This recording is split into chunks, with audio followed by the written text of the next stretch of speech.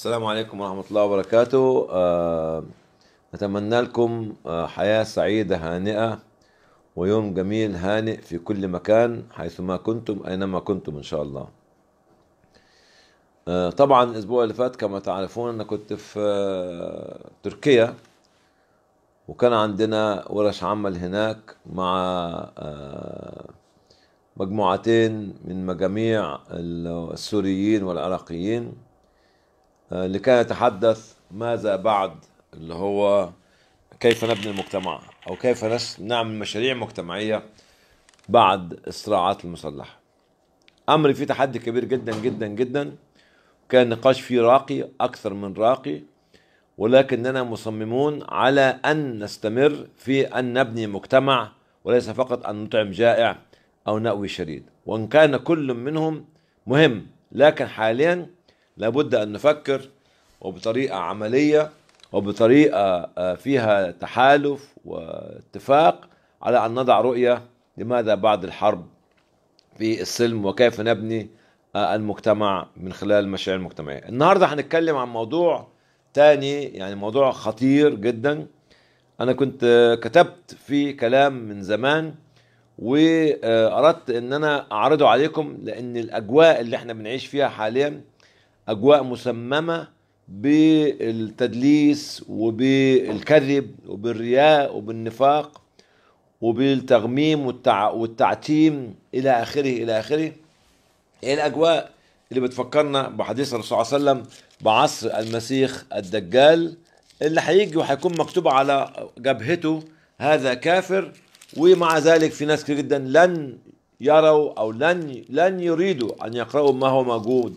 أو مكتوب على جبهته. فنحن في عصر فلسفي ي- يعطينا آه، رؤية هذا أو مناخ عصر المسيح الدجال اللي هو لم يأتي بعد ولكننا نعيش في أحداثه. أنا باين دايما بشكر آه، الشباب اللي بيساعدوني آه، عبد الرحمن و... وأحمد الشيخ وجزاهم الله خير. الموضوع النهارده سهل جدا جدا جدا. هو اسمه اعرف عدوك. مين هو عدوي؟ أول حاجة من يحاربك في دينك؟ من يحاربك في دينك؟ لا يريدك أن تؤمن بدينك ويريدك أن تتبع دينه. دي نمرة واحد. يحقر من ثقافتك.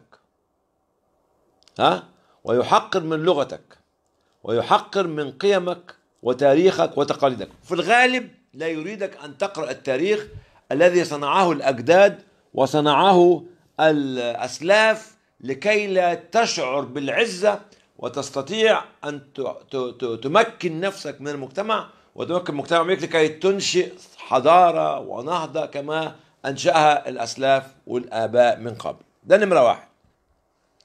نمرة اثنين هو الذي لا يرضى لك الخير على الإطلاق يحجبه عنك يخبيه. ولا يريدك أن تتعلم يجهلك يجهلك ويحارب التعليم ويحتكر التعليم على فئة معينة أو عن عليه هو في الخارج إن لم يكن من الوطن. لماذا؟ لكي يحتكر العلم والمعرفة فتصبح الفجوة بينك وبين هذا العدو كبيرة جدا فتصبح تابعا دائما جاهلا مجهلا يبقى يحجب عنك الخير يحارب التعليم. إحنا عندنا أول آية في القرآن هي اقرأ ويقرأ مش معناها فقط القراءة. اقرأ معناها إنك تطلب العلم من المهد إلى اللحد. بكافة أنواعه وبكافة أنواع المعرفية والتطبيقية. نمرة ثلاثة هو اللي بيخليك إيه يعني يحبطك ويثبطك. ويجعلك في الأزمات تقبل من أنصاف الحلول بالرغم إن أنت قادر على أن تضع الحل الجذري لمشكلتك المجتمعية. بالرغم إن أنت عندك القدرة والإمكانية والرؤية إنك تضع هذه الحلول لكن هو لا ما في داعي ما في داعي ما في داعي. فيثبت ويحبط ها ويخذل هؤلاء الشباب اللي في مجتمعك. لهم طب هتعملوا إيه؟ ما هو اللي قبلكم ما عملوش حاجة. فلا بد علينا من أن نحاول ونحاول ونحاول ونجعل الفشل وسيلة للنجاح.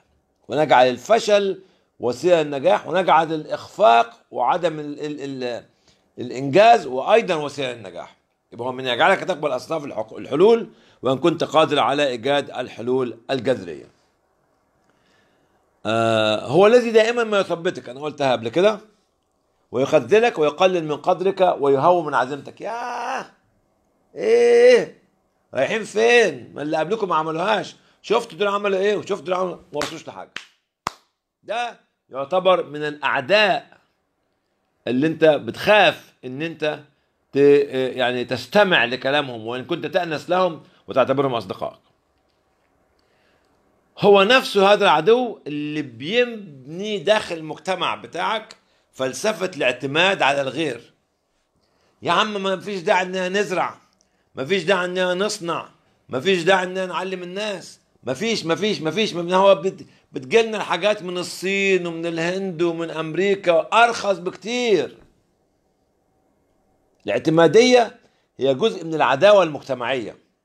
الاعتمادية هي جزء من العداوة المجتمعية. معناها إيه؟ معناها إن الذي يريد أن يبني المجتمع لابد أن يستثمر فيه.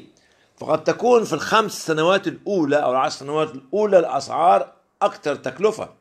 لكن بعد عشر سنوات هتطلع أنت منتج منتج تعليمي منتج ثقافي منتج زراعي منتج صناعي يستطيع أن يتنافس مع المنتجات الخارجية ويصدرها للخارج وهم. إيه؟ يستوردوها منك يبقى هو الذي يبني في مجتمعك زي فلسفة الاعتماد يا عم خليهم يجيبوها لنا بقى هنقعد هنشغل مخنا ليه؟ ليه هنشغل مخنا؟ لا أنا هشغل مخي وهتعلم وهتكلف وهحط استثمار في التعليم وهحط استثمار في التصنيع وهحط استثمار في التأهيل إلى آخره إلى آخره إلى آخره.